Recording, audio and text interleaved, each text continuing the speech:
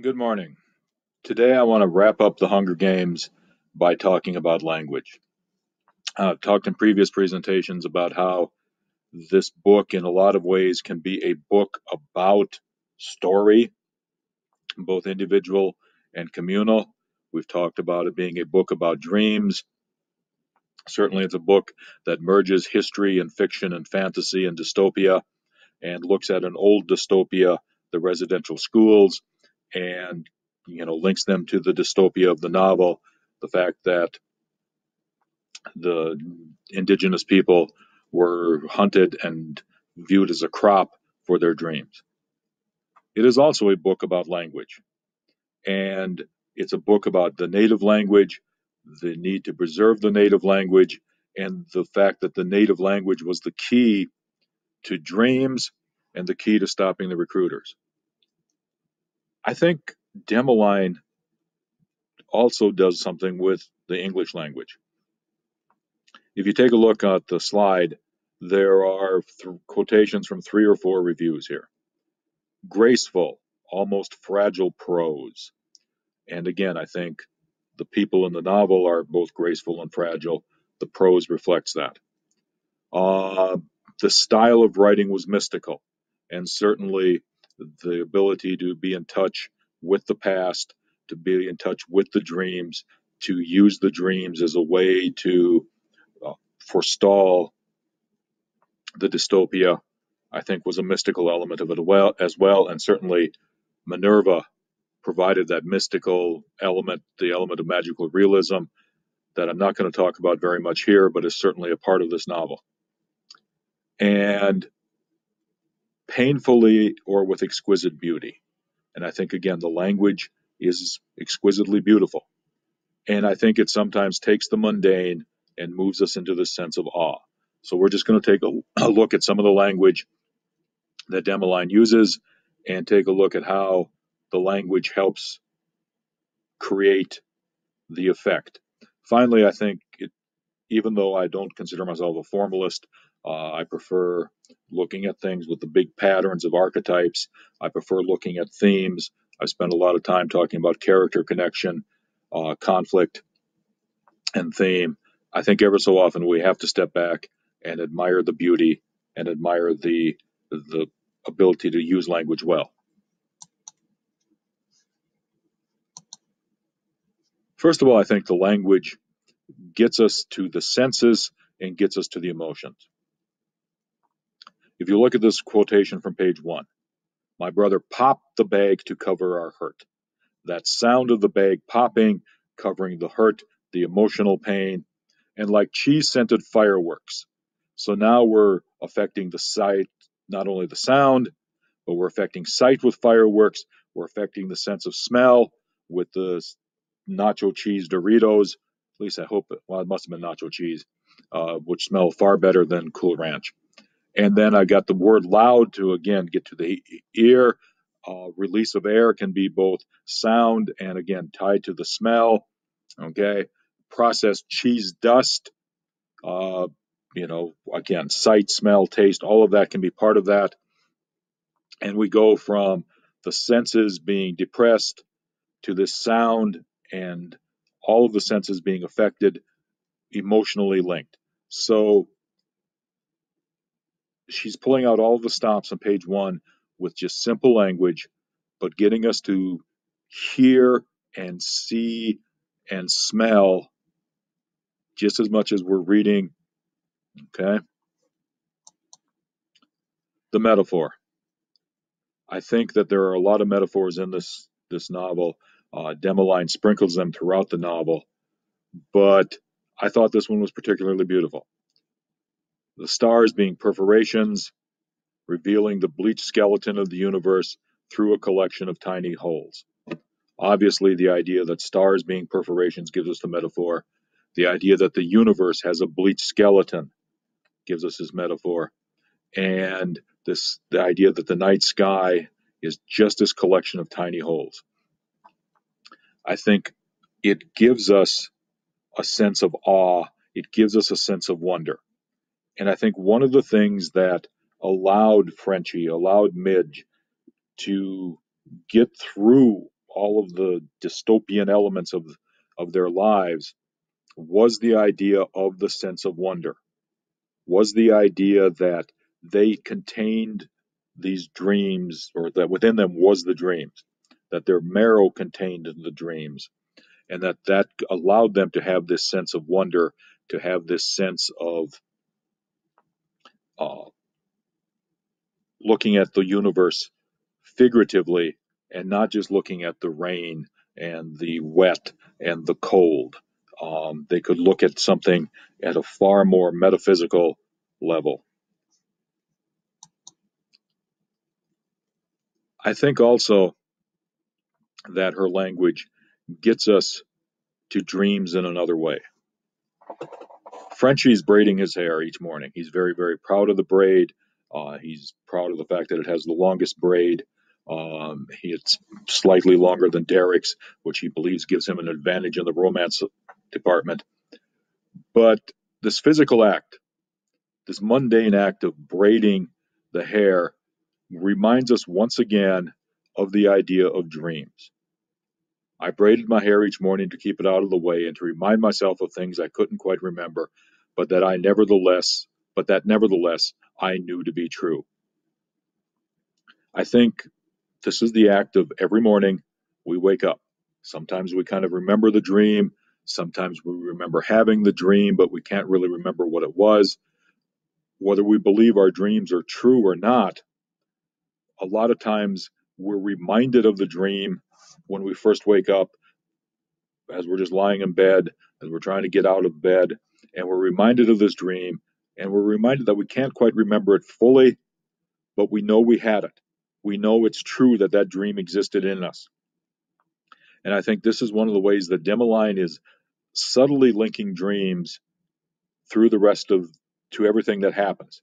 That the dream isn't just in their marrow, that the dreams aren't just you know, the dreams for the future or the dreams they have while they're sleeping, that the dreams are something that are woven throughout the entire life of the characters in this novel. Even if they can't remember them, they can still know that they're true. The simile, again, we're going to look at the senses. The world out here was quiet, so we're getting the sound. Like the land was holding its breath. And once again, we can probably even get to sight, thinking about the idea of everything just kind of being sucked in for a second and seeing everything bend as it sucks in, or everything bulge as it sucks in the air. And then, if you really listened, once again, sound, put conscious action into listening, things began to sing. And again, the simile, quiet, like the land is holding its breath, allows us to think about beauty. And so when we talk about things beginning to sing, and the next word is insects, we don't think about annoying buzzing. We don't think about things getting in our ears. We don't think about uh, how annoying insects usually are. We think about this idea of song. And now we have the contrast of quiet, the contrast of song. Perhaps we can even put it into a spiritual sense of having church and you've got the moment of prayer, the moment of silence, and then you've got the people singing a hymn, something like that. Also, we get the idea of sight, and we get the idea of beauty with something pirouetting. I mean, the only time I see the term pirouette is in dancing. Perhaps it's a running back, running away from somebody, but the pirouette is the sign of something graceful, something elegant, something beautiful. And so we link the quiet with the beauty. We link the quiet with, you know, sucking in, holding one's breath. And again, the idea of what happens when something beautiful occurs and we're holding our breath uh, just in the sense of awe looking at that. I mean, I'm pretty sure that that's what happened to me the first time I saw the Pacific Ocean and the vastness of it all. It was just, you kind of pull back in and maybe you're not holding your breath like you're underwater but it's it is something where you just breathe in a little bit and i think we're getting with quiet we're getting with beauty and again the simile gets us that and it gets us to think about not just one sense, but several. Alliteration. Uh, when I did the dreams thing, I had the uh, poem uh, "What Happens to a Dream Deferred," and Langston Hughes repeats that D sound uh, throughout and gets us this idea of deferred and dreams and um, does all of those words came became part of the the sound of the poem. If you look at this passage where they're in the the uh, uh, lodge for the first time, okay, I've got lit, and then I've got hall and pale. It's not necessarily alliteration, but that repetition of the L sound in the middle and beginning of words keeps going. And then later on, a couple lines down, I got feral, fairy. I've got that repetition of the F sound. And as I'm reading this whole quotation, there is the, the little bits of repetition. We walked, once again. Um, repetition of the sounds give us a sense of awe and wonder. The moon lit the wide front hall in pale ribbons, turning the dust and broken bits of chair and wainscoting and climbing vines from the feral houseplants into fairy tale turrets. We walked slowly out of habit, out of fear, but also out of reverence. This space felt untouched. We could feel the thrum of old activity sliding along the floorboards. And so when you take a look at this, the idea of the repetition of the sounds, whether it's the feral to the fairy tale, whether it's the we and the walk, the repetition of those sounds, I think, gets us to the idea of reverence. And you've got pale ribbons, and you've got all sorts of things that could be dusty and terrible and ugly and spooky and scary. And even a term like feral, you know, wild, bestial. But it's a fairy tale and it goes a step beyond a fairy tale because I don't think very many people feel reverence with a fairy tale, but here they feel the sense of reverence. And again, I think the alliteration and the descriptive language uh, and the sound of all of the other things help get me there. I think it's important for all of us to remember that sound and using sound and poetic devices happens in prose just as much as it happens in poetry. I think sometimes we forget that. Words used in new ways. Snow fell in light dusting, that's not too new. It looked like glitter, that's not too new. Scrape from the underside of clouds is kind of nice, but it's not really new or original. So, snow fell, fell in a light dusting now. It looked like glitter scraped from the underside of clouds by the scrubby top of branches of pines. The skeletons of the green trees curved under the elegant weight of the snow. And here, all of a sudden, I'm taking a look at elegant. And I have rarely see the idea of elegant and weight mixed together. When weight is being talked about, it is ponderous and it is clumsy and it is heavy and and it's debilitating. But here, just switching it to elegant now makes me think of the skeletons having more of motion, perhaps even thinking about the skeletons reanimating. Uh, again, there's green trees, so we're probably talking about pines and and the idea of evergreens.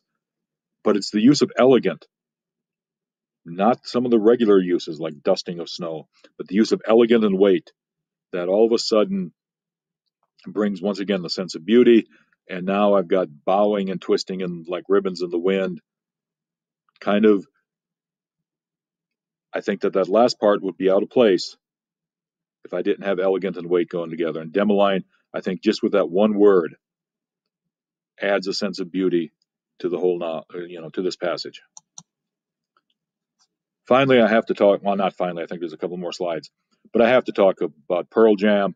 Um, Frenchie's uncle is playing it. Uh, he calls Pearl Jam real tradish. Frenchie, I don't think understands Pearl Jam, but this metaphor of it sounds like if Gray could make noise. I think Pearl Jam should put that on any album they release any you know, in the future, or should go back to any of the albums they have released and stamp this on the bottom. Sounds like if Gray could make noise. It's, I think, a beautiful way to think about uh, music and think about actually the life that they're living. The idea that the gray, which can be debilitating, or you know, not debilitating, but can be something that causes sadness, can make some noise and bring a little bit of joy. Finally, and I probably should have moved this to yesterday's uh, slide um, Wednesday's presentation, excuse me. One of the things that I think Dimaline does too much is gives us this foreshadowing. And it's as if she beats us over the head with the foreshadowing time after time after time. Um, and part of that is this is one of just one of the examples. Neither of us could imagine that everything would change in just a few hours, including the idea of keys. Oh, good. We're going to have something happen. We're going to get the idea of keys changing, and it's going to happen in a few hours. Apparently, this is a big deal. Something's going to happen. And Dimaline, I think, does this too much. I don't know if it, you know, fits in this language section, but it's one of the things I wanted to point out uh, as one of the flaws I have with the novel. I think it's a great novel. I think it's a beautiful novel. I think it tells an important story and should serve as an important reminder to how both American and Canadian governments have treated uh, the Native American indigenous people. But ever so often, there are some little flaws, and this is one of them. Okay, today we've got a quiz and uh, daily writing, so this one's going to be a little bit short. Uh, I hope all of you have a good weekend, and we're going to start with um, a far different book on uh, Monday.